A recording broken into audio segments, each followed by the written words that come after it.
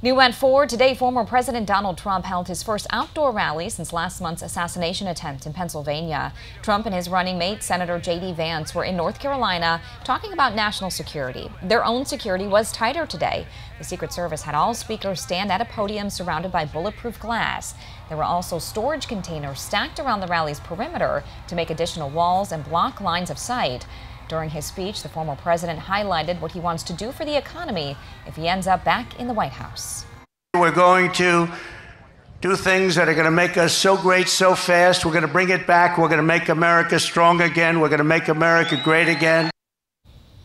During his speech, former President Trump criticized former President Barack Obama and former First Lady Michelle Obama for, quote, getting personal during their speeches at the DNC.